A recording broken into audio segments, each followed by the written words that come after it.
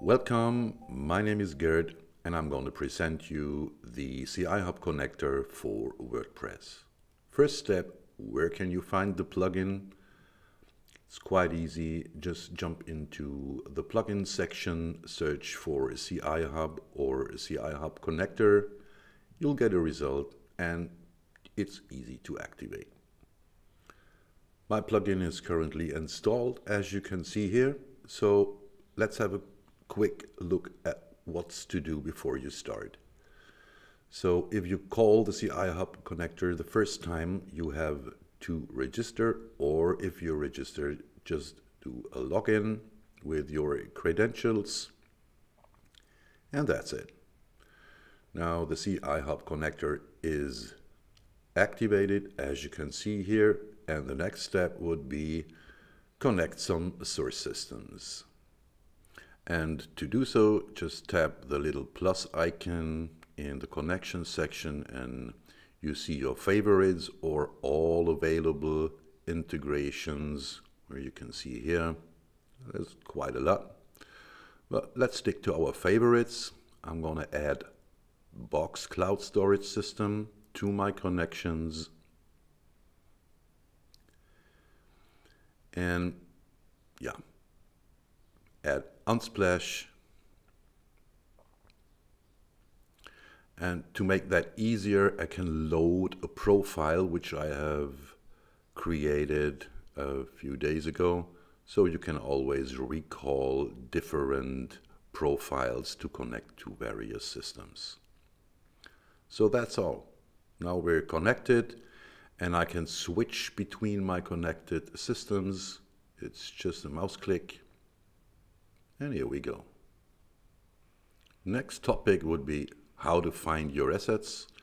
That's quite easy. Let's have a look at the first icon section. You have a full text search to search through any system.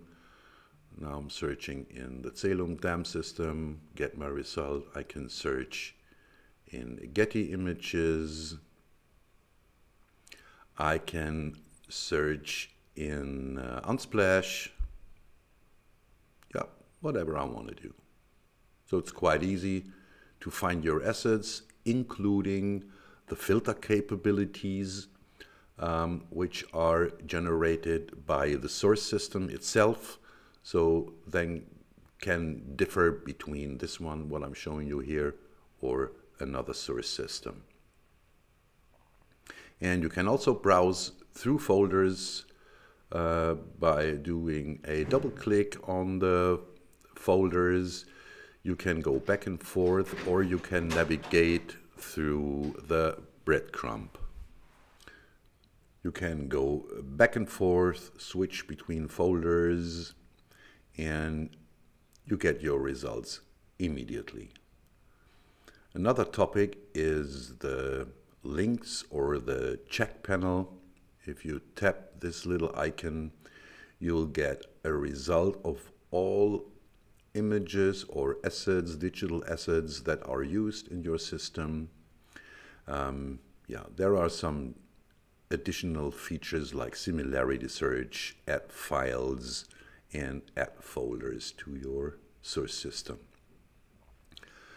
If we switch over to the view, you see in the detail view, you have custom metadata fields or IPTC, XMP metadata information available.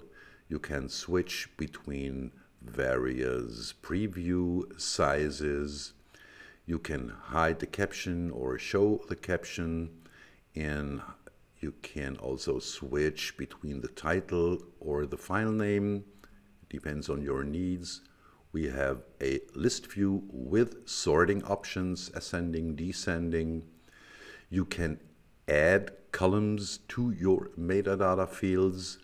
You can delete columns from um, your source system and you can rearrange them, put it in position, position. So the second column is now the creation date and you can add files or reload the folder. And not to forget, in the detail view, you have also access to all the versions. So let's have a look on how to use the CI Hub connector plugin. I'm opening a post and I would like to add an image from a DAM system. In our case, it's Celum. So I have switched to the Celum system, grab an image, select it, and it's placed. Next step, let's place an image from a cloud storage system. In this case, I'm using Box. I'm going to switch to Box, browse through the folders, or I can do a full text search if I want to. Um, you can select the image you want to place, check the rendition. In this case, I'm using a JPEG with a 1024 size and it's placed. Next, I'm gonna check an image from Unsplash. So I'm switching to the Unsplash system and I'm doing a full text search. Let's add another. And check this one and you can see the green icon shows you the selected rendition and the size of the rendition. So let's choose the medium size and add this file to the post. Here we go. And now we're going to add a Photoshop file with layers. Um, and this comes from my box system also. Go into the folders yeah, here we go. This is the Photoshop file, and as you can see, it was 130 megabytes. So I'm going to choose the rendition, which is already set up, the JPEG. I say use and add this file. So just placed a rendition of a Photoshop file. And the same works with native Adobe Illustrator files. This one is also stored in my box cloud storage system, doing a full text search, searching for the early bird icon. Here we go. This is a native Illustrator file, as you can see here. And the rendition is selected. Just add it. And it's placed. If your source system supports PNG with transparency, it works perfect. Now let's place an image which is stored in the media library only. That's how it goes. And we will have a look at another feature which is the version control. I have a page with one image in it and and I would like to check if the version of this image is the latest version. So just jump into the media library to have access to the CI Hub connector. And I'm going to click this little gear wheel icon and I can see if I do a check for the status, there comes a little warning symbol which says there is a newer file available. So by opening the details section of this image, I can see there are four versions. The second version is currently selected.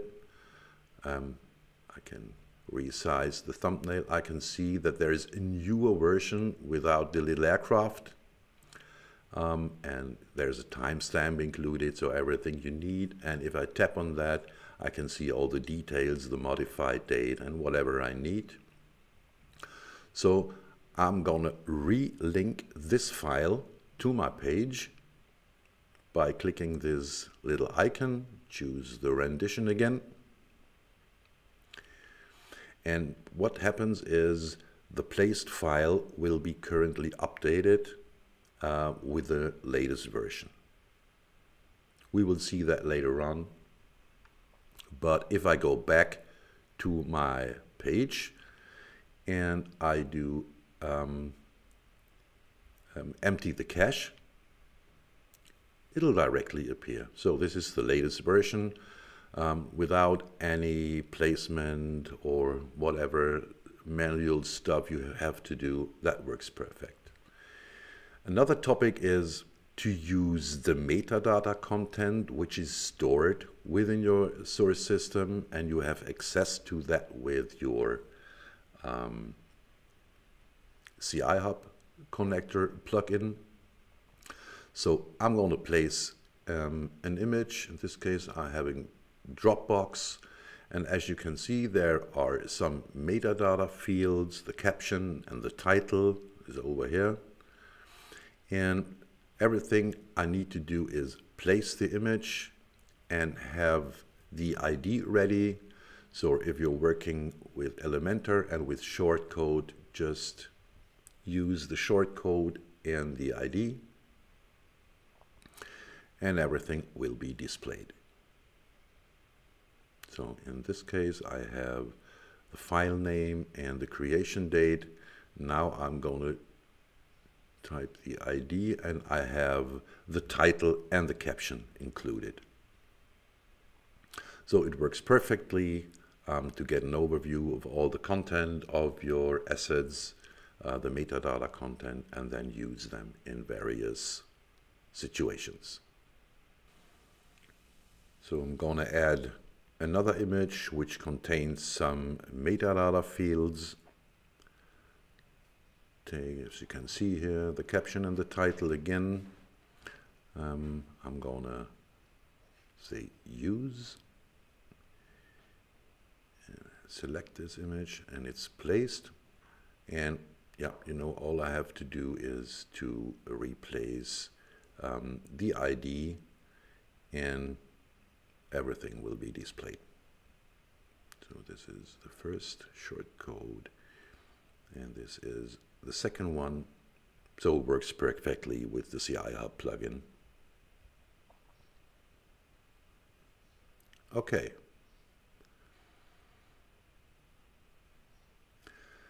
Let's go back to what we can do with all the assets to check the versions, the availability. So it's just using the check panel. Um, and you can see um, the details. You have a link to the, uh, the asset itself. You have a link to the page where this asset has been placed. Um, if it's placed multiple times, um, all the pages or the posts will be displayed and you have direct access to it. So let's have a look at this post with multiple images. Yeah, just call the media library to access the CI Hub connector, click the check panel, uh, icon and you can see we have images from Box, from Unsplash, from Celum and as you can see the last one, this is the one I've just placed um, from the media library so this is not coming out um, of a external system. You have a full version control. The little warning symbols say okay there's a difference between the original file name and the placed file name that comes through the rendition. The original file name is a PSD, but we use the rendition, so it's JPEG. This is just to keep you updated. And this one is the one I've just placed from the media library, but I want to have that image in my source system. Um, I'm using Box and I want to add this image, which is only available in my media library, to my source system. So I select the folder, click the add icon, and the file will be uploaded from WordPress directly into my Box cloud storage system without any changes uh, in the page. So let's add, for example, the cover of a Word or a PowerPoint document. That's also doable with the rendition feature of the CIR plugin. So I'm browsing through the folders, go to my Office 365 documents. As you can see, this is a PowerPoint and I've selected a rendition and now I can place the cover of this PowerPoint file into my post. Here we go. The CI Hub connector is available for Office 365 applications, Google Workspace, Figma, Sketch, and of course, the whole Adobe Creative Cloud applications. So let's do another check of assets. I'm in the media library and I've selected six assets and I would like to check these assets if they are available and regarding versions and if there's anything. So it just shows the six selected assets and as you can see, I have the little warning symbols. Everything is available. I see the source system, but I can also add all the files in the media library and check them against the source systems. So that's how it works. It's quite easy to have a full control of the versions and the availability of your assets uh, without leaving WordPress. So that's it for today. If you have any questions, just shoot me an email or visit www.cihub.com. Thanks for watching. Have a nice day.